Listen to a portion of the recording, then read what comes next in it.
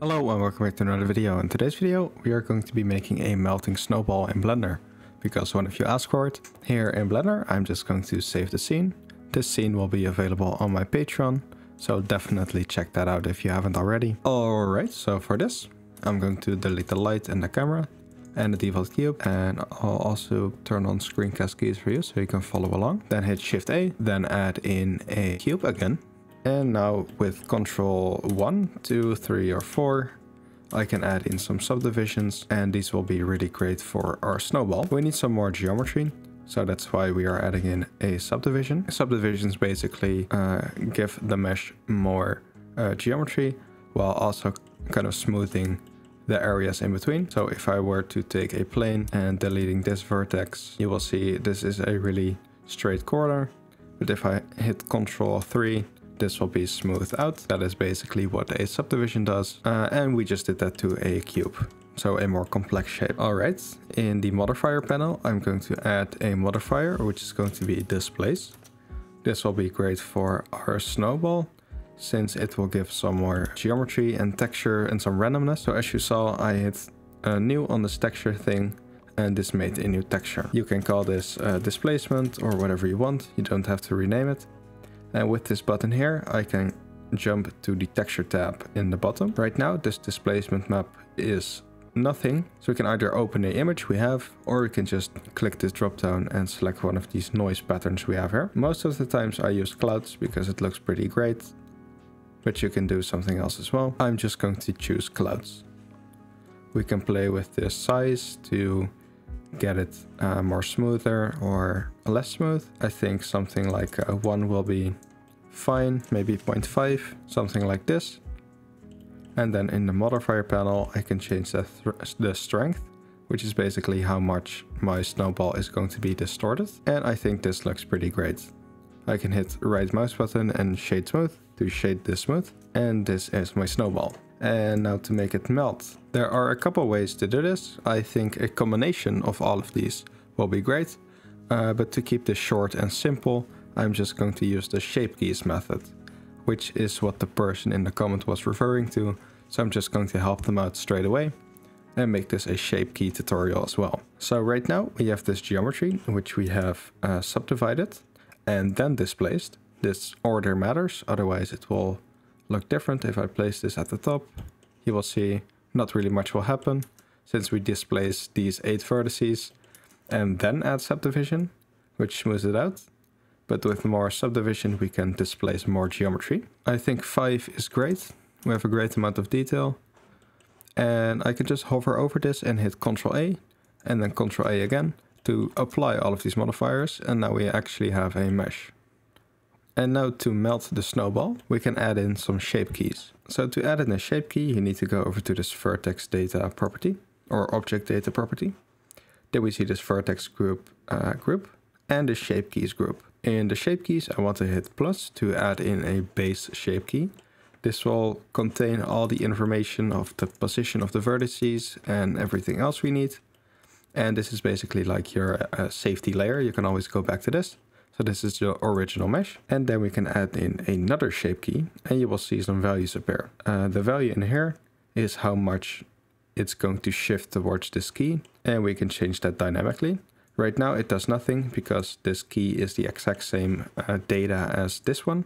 So it will not smooth out, but we can change that as well. So with this key selected and our object selected, I can hit tab to go into edit mode. And then with this proportional editing, set to uh, smooth. I can select one of these vertices, hit G to move it, and I get this radius where I can influence my mesh. And I kind of want to move this down, so I can hit Z, so I can limit myself to the Z location. And then scroll to make the area of influence greater, and kind of just uh, make it all melty. So just move it down like this, and we want to get like a couple stages going on. We can also just uh, move them out a little bit, but make sure they're always down. So do not move them out and up, that will be weird. So just only down and maybe some different locations. Alright, if we go back into object mode by hitting tab, you will see that our mesh looks different. That's because in object mode, it will just take the uh, value here and kind of mix it together. And since it's at zero, it will be at the base mesh. So it will look like this.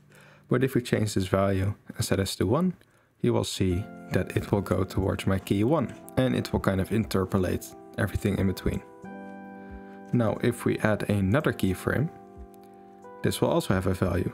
So if I now set this at 1 or 0, it doesn't matter because the data is the same as in uh, key 2. So if I now move this a little bit more, make it even more melty, just by grabbing some vertices and moving them around. And now if I play with this value, you will see that it will go towards key 2. And then I can play uh, with both of these to create a really cool melting effect. Maybe for good measure, we also need another key and then just set that to like almost melted. So really down all the way. It's fine if this loses some volume because of course there will be water dripping from this. So it doesn't matter if it doesn't uh, like keep the exact same volume. It will not look weird since this is meant to be a melting snowball. Alright, so now we have a really extreme point and we can kind of uh, like play with this. So if we set everything to zero, this will be the base.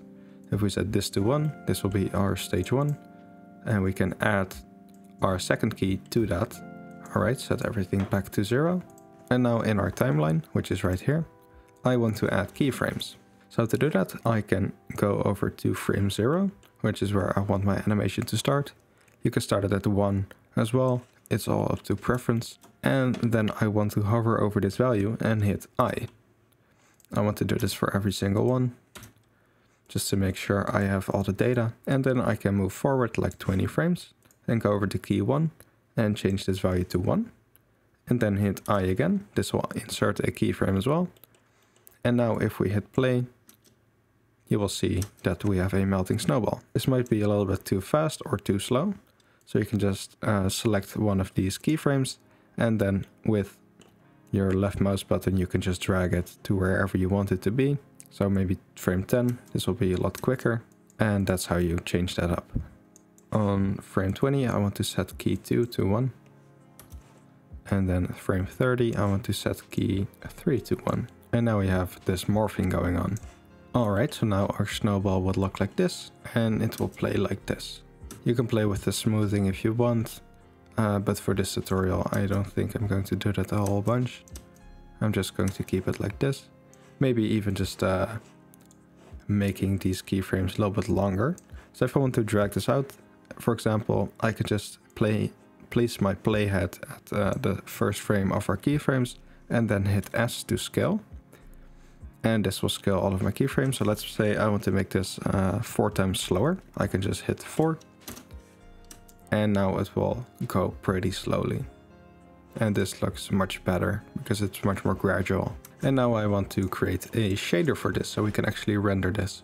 So I can go over to the viewport shading and go over to the render properties, make sure I'm on cycles for realistic rendering.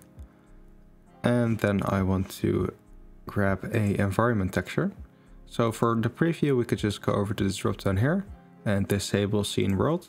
This will use a pre-generated HDRI. And then I can drag from the corner here and start working on the material. So just select our object and hit new. And then we have our principled BSDF. And I want to add some bump in here. I want to add some nice reflections, some blue undertones, and maybe some subsurface scattering or something like that. So for the base color, I want to use white, maybe a little bit, a little bit bluish. Just a really tiny amount. If you want to change this only a little bit instead of a whole lot, you can press uh, shift while dragging.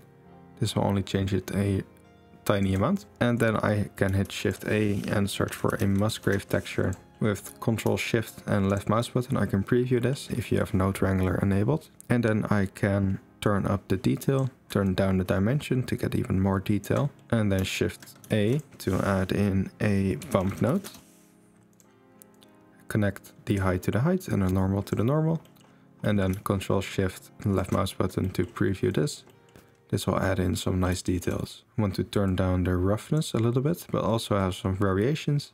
So I'm going to use this uh, Musgrave texture in the roughness. And then in between this, I want to add in a color ramp. Just preview this and set this black value to be also pretty rough, but uh, just to have some difference. Something like this. Or other way around, I want to have it more shiny, of course. So like this. Let's see what a subsurface scatter will do. So go over to this subsurface um, tab, just open it up. If this uh, shader doesn't look the same, you're probably in Blender 3.6 or below. I'm in 4.0, so it looks like this, but it has the same functionality.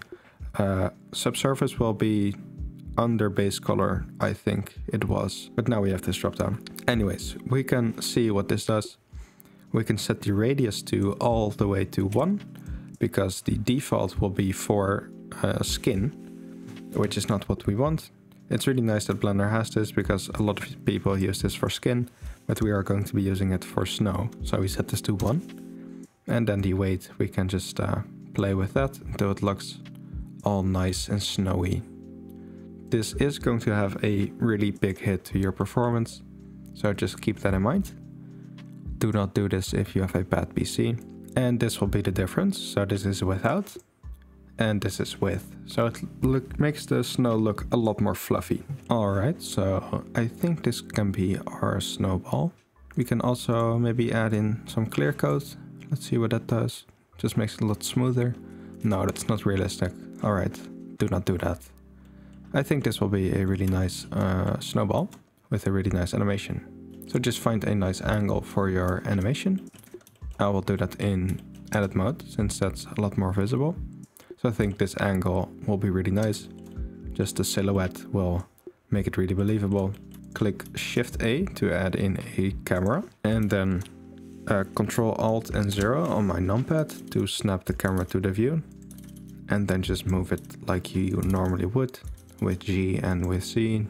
I can hit G and then double Z to constrain it to like zooming in and out. So it's really nice. And I'm just going to position my camera to look really nice at the snowball. Make sure it's in frame all of the time. So right now it's only in frame at the end, but I also want to be in frame at the beginning. So I need some more space. We can also add some keyframes to the camera position, uh, but I won't do that for now, since I think this will uh, this will be fine. All right, we can just turn off the scene world, and now it will be black or gray Yours will probably look uh, something like this. And I just want to hit Shift A to add in a light and then an area.